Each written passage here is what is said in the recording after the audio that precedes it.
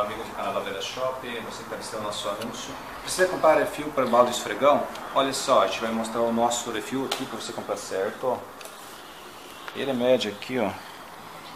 15.8 aqui, ó, nessa pecinha aqui, tá vendo aqui, ó, 16 menos 2 aqui, ó, nesse ponto aqui, ó, 15.8, ele fecha aqui, e ele serve nesses, nesses discos internos aqui, ó, que também, ó, dá 15.8 lá, gente, ó, aqui, ó, você só vem em casa, faz esse teste aqui, ó, no prato, se você tiver outro modelo de cabo, não tem problema, só tem que ter esse encaixe aqui 15.8, gente, ó.